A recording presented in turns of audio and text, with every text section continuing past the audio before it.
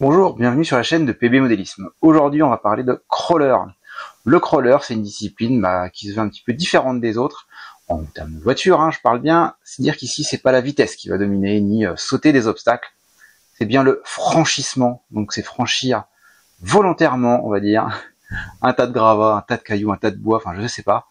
Mais en tout cas, c'est d'aller lentement et de franchir euh, avec euh, dextérité les différents obstacles qui s'offrent à vous. Donc pour cette discipline, vous avez besoin d'un véhicule qui va être différent d'un buggy ou d'un même d'un monster. On a différentes échelles qui s'offrent à nous. Donc ici, on a du 18e avec du TRX4 de chez Traxas, euh, le CRX18 de chez euh, Obitech. On retrouve aussi du CRX2, donc échelle 1 dixième, la plus grosse d'ici, enfin le véhicule le plus courant, en tout cas l'échelle la plus courante, avec aussi le TRX4 de chez euh, Traxas par exemple, hein, qu'on connaît bien, que je ne vous présente pas dans cette vidéo. Le but c'est de faire du global. Et puis ici du 1 huitième, donc qui va être plus gros, seulement 8 fois plus petit qu'un vrai. On va voir ça un peu en détail, mais sinon, qu'est-ce qui va caractériser un crawler? Eh bien, c'est d'avoir principalement eh bien, du blocage de pont, donc des, des différentiels qui sont bloqués. C'est la toute première chose, c'est vraiment hyper important. Et puis un rapport, un ratio, un, un, rapport de transmission qui va être très très court, voire même la possibilité d'avoir une boîte de vitesse actionnée par un cerveau ou mécaniquement, manuellement, c'est plus rare, mais en tout cas cette possibilité d'avoir un rapport très très court et donc d'avoir une démultiplication euh, très courte, un peu à la manière des euh, sur un 4x4, un vrai 4x4, hein, la fameuse boîte courte. On va retrouver. Voilà. Donc ici on a affaire à deux véhicules de format 1 18e. Donc c'est assez euh, petit, hein, c'est relativement compact par rapport à du à du 1 dixième qui est, rappelons-le, l'échelle la plus utilisée.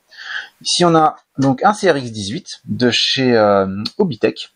Donc c'est un système. D'ailleurs, si vous regardez un peu les deux, hein, vraiment, vous mettez côte à côte, vous verrez bien qu'en termes de dimension, alors de 4 roues et 6 roues, hein, c'est un petit peu pour vous montrer euh, tout ce qu'il peut y avoir. Hein, mais on a vraiment des véhicules aux mêmes dimensions. On voit même qu'en dessous, en termes de, de motorisation, c'est pareil, on a des choses très similaires. Donc, après ouverture de la cabine, on retrouve bah, notre système de, euh, de variateur de vitesse avec tous les petits modules pour de l'éclairage. On a, c'est plutôt en dessous, on va vraiment un peu, euh, on va plus voir la mécanique avec le moteur qui est un peu planqué, mais surtout un système de pont, euh, de pont rigide. Donc ici vous avez des ponts, un peu à la manière des trucks et des, des, et des camions américains. Voilà, des choses qu'on voit plus trop sur des véhicules plus rapides. Vous aurez des triangles indépendants donc chacun des triangles va être indépendant. Ici, c'est pas le cas. Le but du jeu, c'est d'avoir euh, sa motrice. Voilà, on va avoir du croisement de pont, donc cette faculté à soulever une roue avec, en restant en contact ici sur la dernière roue. Donc ça, c'est le fameux croisement de pont. Donc on va essayer de chercher d'avoir l'angle maximal ici. Ici sur le c'est le Traxas. Alors, il faut toujours se repérer sur l'ouverture. Donc ici on a une carrosserie qui est dure, hein, qui est en ABS dur. Ici on a une carrosserie en, PVC. C'est du PVC, c'est pas du Lexan mais du PVC. On a des carrosseries qui sont super sympas. Ici on a du Defender, donc des véhicules sous licence. chacun essaiera de se démarquer un petit peu à sa façon. On a le même type de moteur, hein, c'est un petit 180 dans les deux cas d'ailleurs. Ici, bon, Traxas comme d'habitude qui aime bien avoir euh, ses modules tout bleus, donc du étanche, hein, s'il voudrait être étanche, avec euh, pareil ce même système de, de pont rigide donc un pont qui est monobloc, la roue est droite et euh, est associée à la roue gauche hein, grâce à ce pont. Voilà. Donc on va retrouver nos cardans, ces quatre roues motrices, c'est voilà, et surtout on a des ponts qui sont bloqués, donc voilà, on sent bien, j'actionne une roue, tout le reste vient avec. Alors plus ou moins de réversibilité dans la transmission, ici, ah, je vais pas forcer, je sens que je vais sinon forcer et je vais détruire la transmission. Donc c'est vraiment des transmissions qui sont très très très courtes, je le rappelle. Il peut y avoir aussi de l'éclairage. On est sur un système de batterie. Euh, voilà. On retrouve vraiment euh, cet esprit modélisme malgré la petite taille. Voilà, même les pneus, ils sont vraiment super sympas. On a quelque chose qui se veut très euh, très réaliste malgré la taille et la petitesse du véhicule. Donc ici, avec un véhicule 1 dixième, on prend de l'embonpoint. Hein. On voit bien. On vient vraiment de prendre un petit coup. On progresse aussi en termes d'équipement. Ici, si on ouvre le capot, on soulève le capot plutôt. Donc déjà ici, vous avez repéré qu'on n'a pas une carrosserie en PVC, mais une carrosserie en Lexan. Vous voyez bien, c'est très, c'est très très brillant. Voilà, c'est typique du, du Lexan. Voilà, et puis on voit bien à l'intérieur. Voilà, la petite protection. On a le petit kit éclairage sur l'avant avec des phares, des phares LED des optiques. Super sympa. Et voilà, on a un véhicule qui est équipé donc vraiment différemment puisque on a un moteur qui est beaucoup plus gros. On est vraiment à faire du face à du 1 dixième. Donc un cerveau de un cerveau, un moteur de 36 mm de diamètre, un format dit 540 ou 600, 555, pas mal de pas mal de dénominations différentes, un variateur de vitesse qui est indépendant du récepteur. Donc on a vraiment du modélisme où on a chacun des éléments qui est séparé, qui est distinct avec ici donc eh bien, notre variateur de vitesse, ici le boîtier pour le récepteur et puis le cerveau ici, qui est un cerveau alors, de taille standard, j'évite de vous, voilà, de vous éblouir. Donc un cerveau de 21 kg, de 21 kg centimètres de couple. Donc on a quelque chose qui est qui veut vraiment modulaire. Vous pouvez changer un des éléments. Voilà, un des premiers que vous serez euh, probablement amené à changer dans ces échelles 1 dixième, c'est le variateur de vitesse, mais un modèle spécifique chez Wing qui permet de très très bien gérer les crawlers avec un frein moteur très puissant. Ça permet vraiment de retenir le véhicule dans la descente. On retrouve ce système de pont rigide, voilà, avec donc là toujours des suspensions hein, qui sont plus ou moins hydrauliques. Alors des suspensions qui se veulent, c'est principalement des ressorts euh, avec très peu d'huile dedans. On n'a pas besoin d'avoir des suspensions extrêmement évoluées en termes de viscosité d'huile, on a vraiment des, encore une fois, hein, des éléments qui sont spécifiques au crawler avec des suspensions qui fonctionnent avec des ressorts dessus et dessous le piston, donc ça permet de travailler en compression et en décompression. Ça permet de travailler dans les deux sens. Le principe, le croisement de pont, donc là, on est capable de soulever la roue de tout ça avec les trois dernières roues en contact. Donc encore une fois, voilà, le crawler a ses petites spécificités. Voilà. Les... Ici, on a vraiment un bloc, des blocages, des ponts qui sont bloqués. Alors ici, ils sont bloqués de façon ferme et définitive, c'est-à-dire que les différentiels sont bloqués. Avant et arrière sont bloqués en permanence. Vous avez néanmoins la possibilité d'avoir euh, le système de boîte de vitesse. Alors là, c'est pas le cas sur la version RTR, c'est le cas sur la version en kit. Vous avez un cerveau supplémentaire qui va permettre de travailler les deux euh, rapports sur la boîte de vitesse. Vous pouvez avoir chez Traxas, c'est le cas par exemple du TRX4, vous avez les différentiels avant et arrière qui vont être bloqués grâce à la télécommande. Alors, des petits équipements que vous n'aurez absolument pas sur des buggy, sur des monsters, euh, je me répète, hein, mais vraiment des équipements spécifiques. Le système, voilà, on a un angle de braquage qui est quand même assez important hein, par rapport à du buggy. Le, but du jeu, hein, encore une fois, c'est euh, dédié franchissement. Donc on passe encore un cap avec ici un véhicule de chez Apsima. Donc là, on, est affaire, on a affaire à l'échelle 1 huitième, seulement 8 fois plus petit. Pour vous donner un ordre de comparaison, ici, c'est un 1 dixième. Le 1 dixième ferait petit à côté. J'essaye un peu de vous le présenter, peut-être sous une autre. Voilà. On a vraiment, voilà, on passe encore un cap. Donc en termes d'équipement, on en retrouve hein, un moteur, cerveau et compagnie. Hein. on n'a on pas réinventé le monde. Par contre, voilà, on a une mécanique.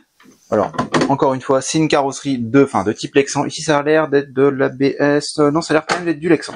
C'est du Lexan. Si, si, c'est du Lexan. Vous avez une petite cinquième roue pour le look. Elle est fonctionnelle. Vous pouvez l'équiper, vous pouvez la remettre euh, sur euh, en remplacement. Hein. elle, fonctionne parfaitement. Certains véhicules peuvent être équipés comme ici avec ce, genre de d'équipement. On retrouve une rampe de phare ici. Hein. Bon, c'est pas le cas de tout le monde, hein, mais ici on a une rampe de phare. Après, euh, sur le véhicule de chez euh, Obitech, on avait des phares fonctionnels. Ici, on a tout un système euh, d'éclairage intégralement fonctionnel sur ces véhicules-là d'origine. Dire que c'est pas quelque chose qu'on vient rajouter en option. Ici, vous avez vraiment une grosse pieuvre avec pas mal de câbles, de câblage. Hein. Euh, pareil sur le sur la face avant. Donc sur la face avant, que je vous montre ça. Voilà. Ici à l'avant, vous avez les câbles, les clignotants.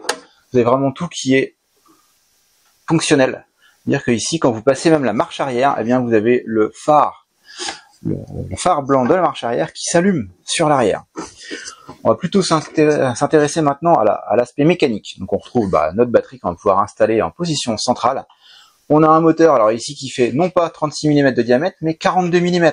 Ici, c'est le format 700, euh, comme on appelait ça chez, euh, chez Graupner. Donc ça doit être 755. Tout le monde tout le monde donne un petit nom différent. Un variateur de vitesse ici au Biming, c'est un Quick Run. Alors c'est un petit peu dommage parce qu'ils auraient pu équiper directement avec un, modèle de chez, euh, de chez encore une fois au Wing, mais le modèle spécifique Crawler. Néanmoins, ils ont quand même équipé avec un variateur très solide. Là ici, on voit bien le cerveau commande qui vient donc actionner voilà, avec un petit ressort, et on vient actionner, voilà, j'essaie de vous montrer. Donc ça vient tirer sur la tirette, et on vient vraiment actionner la boîte de vitesse. Ici, on a deux rapports sur ce véhicule-là. On retrouve aussi tout le système de blocage de pont. Oui, alors, pour vous montrer. Donc les deux cerveaux qui viennent actionner le blocage de pont, ils sont ici, avec une petite tringlerie qui part sur l'arrière, une deuxième tringlerie qui part sur le différentiel avant, et on va pouvoir bloquer, débloquer les différentiels à notre convenance. Là ici, là ici, on a le différentiel qui est euh, débloqué, voilà, donc on est vraiment libre. Par contre, si on vient actionner, alors je le fais manuellement, c'est pas forcément top. Ah, est-ce que j'arrive à y accéder d'ailleurs? C'est pas forcément super évident, voilà. Et là, j'ai le différentiel qui est bloqué. J'entraîne bien le véhicule. Voilà. Alors ça, faut éviter de trop le faire à vide. Alors, mais on peut se permettre gentiment. Le euh, récepteur est lui ici, hein, avec son antenne. Donc on retrouve bien un système qui se veut vraiment comme du modélisme modulable. J'insiste bien là-dessus. Encore une fois, on a des éléments euh, qui vont euh, ici permettre de, tous les garde-boue, qui sont des fois en option sur certains véhicules. Ici, c'est équipé d'origine. Encore une fois, on est sur du 1 huitième, donc c'est plus gros et ça se veut aussi beaucoup plus équipé que les copains. Le système, bah, on retrouve nos ponts rigides, hein. avant et arrière, avec le tout système de direction, le cerveau, alors qui est planqué un peu en dessous, je sais pas si j'arrive à vous le montrer. Allez, on le devine un peu, on le devine, parce qu'on le voit. Et un système de transmission ici, avec des cardans euh, en métal. Donc ça c'est du vraiment du 1 huitième, donc plus gros, un peu plus équipé que les copains. Donc vous aurez bien compris que c'est évolutif. Vous pouvez rajouter bah, des rampes de toit, par exemple, c'est possible. Des petites euh, galeries de toit. Tout un tout des systèmes de, de de protection. des, des là, je peux vous en sortir des kilomètres. Je peux sortir des kilos. Je vais pas faire le voilà, mais des rampes de phare, vous en voulez, il y en a. Euh, voilà, des petits bidons. Euh, vous avez plein, plein, plein d'éléments et vous pourrez personnaliser votre véhicule très facilement. Voilà, je prends un accessoire au hasard. Voilà, une fausse batterie. Si vous voulez rajouter une fausse batterie euh, dans le, dans le coffre du pick-up, c'est parfaitement possible. Voilà, c'est un peu sans fin. Il y a plein, plein, plein de choses rajouter que vous pouvez rajouter et customiser ainsi votre véhicule.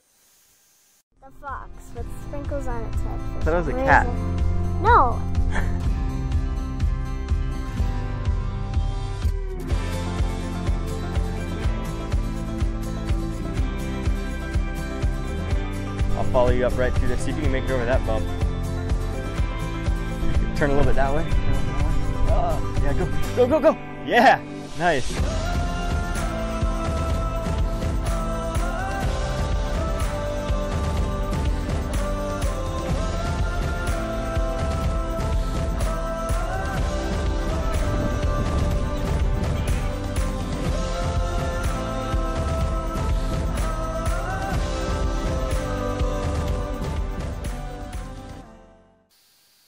Eh bien, si cette vidéo vous a plu, n'hésitez pas à mettre un petit pouce bleu, ça fait plaisir à toute l'équipe, et puis ça participe aussi au référencement de la vidéo.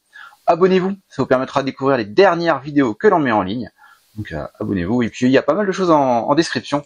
N'hésitez pas à regarder, euh, ça renvoie vers notre site internet et vers notre boutique. Et puis enfin, si vous avez des questions, posez-les en commentaire, on y répondra en moins de trois mois, c'est une devise. Au revoir.